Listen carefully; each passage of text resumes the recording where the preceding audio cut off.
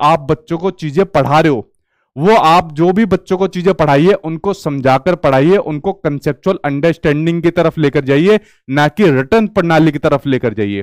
तो बच्चों को रिटर्न प्रणाली से मुक्त किया जाए, इस बात को आपका एनसीएफ 2005 कहता है कि बच्चों को रिटर्न प्रणाली से मुक्त किया जाए, यानी कि बच्चों को रोट लर्निंग से मुक्त किया जाए। क्या किया जाए? बच्चों को रोट लर्निंग से मुक्त किया जाए। इस बात को आपके एनसीएफ 2005 ने भी कही है, एनईपी 2020 ने भी कही है कि बच्चों को रोट लर्निंग की जगह क्या किया जाए। एनईपी 2020 ने एक नाम दिया है कि बच्चों को कंसेप्चुअल अंडरस्टैंडिंग की तरफ़ लेकर जाया जाए, ठीक है? जो भी बच्चों को आप स्कूल में पढ़ा रहे हो या स्कूल, क्लासरूम के अंदर नॉलेज दे रहे हो तो उसको बच्चे की डेली एक्टिविटीज़ से या बच्चे के स्कूल के बाहर के ज्ञान से जोड़कर आप उसको पढ़ाइए। यानी जो बच्चों को आप ज्ञान दे रहे हो, वो उसके बाहर के जीवन से जोड़कर आप लोग उसको पढ़ाइए, ठीक है? यानी ज्ञान को कक्षा के बाहरी जीवन से जोड़कर पढ़ाइए, ठीक है?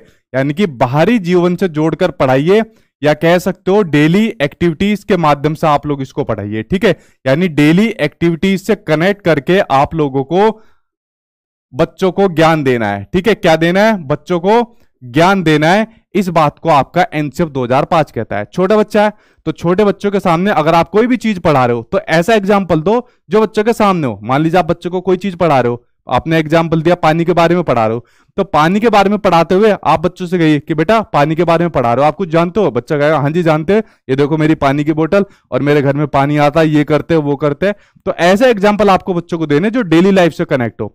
आप लोगों ने एक बात बड़ी नोटिस की है जो आपके एनसीआरटी की किताबें आती है जो आप लोग पढ़ रहे हो तो उसमें मोस्टली एग्ज़ाम्पल वो दिए रहते हैं जो आपके बच्चे की डेली लाइफ से कनेक्ट होते हैं। जैसे कबाड़ी वाला हो गया या जो जितने एग्ज़ाम्पल दिए रहते हैं डेली लाइफ से कनेक्ट होते हैं। जो आपका करिकुलम होता है जो आपका करिकुलम होता है यानी कि जो आपकी पाठ्यचर्या होती है ठीक है?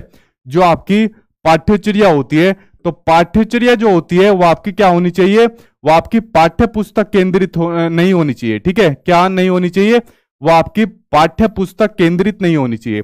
तो भाई पाठ्य पुस्तक अगर केंद्रित नहीं होनी चाहिए तो फिर कैसी केंद्रित होनी चाहिए? वो होनी चाहिए भाई आपकी बाल केंद्रित होनी चाहिए। कैसी होनी चाहिए आपकी? वो होनी चाहिए बाल केंद्रित होनी चाहिए, यानी कि आपकी चाइल्ड सेंटर्ड होनी चाहिए।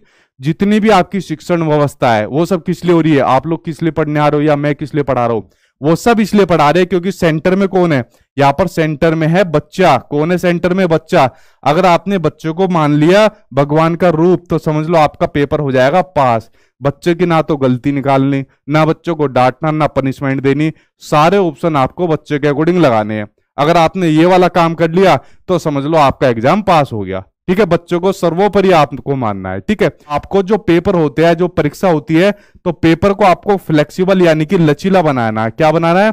पेपर को आपको फ्लेक्सिबल और लचीला बनाकर बच्चों के अकॉर्डिंग आपको शिक्षण व्यवस्था को लागू करना है। इस बात को आपको एनसीएफ 2005 कहता है। और उसके अलावा एनसीएफ 2005 कहता है कि ऐसे विद्यार्थी तैयार करे जो राष्ट्र के प्रति आस्थावान हो, ठीक है? कह सकते हो, जो राष्ट्र राष्ट्र लिख दिया काम चला लो। जो राष्ट्र के प्रति आस्थावान हो, क्या हो? जो राष्ट्र के प्रति आस्थावान हो। ये नहीं कि वो आगे जाके बड़े बन के और उसके अलावा कुछ भी आगे कोई बात हो जाए, बस तोड़ रहे, ट्यूबलाइट तोड़ रहे, स्कूल के पंखे तोड़ रहे, कुछ भी कर रहे, ऐसे विद्यार्थी तैयार ना हो, ठीक है? तो ये कुछ महत्वपूर्ण बातें आपके एनसीएफ 2005 ने कही है। ये वो पाँच मार्गदर्शी सिद्धांत है जिनको याद कर लेना अच्छे तरीके से। ये आपके बड़े काम आने वाले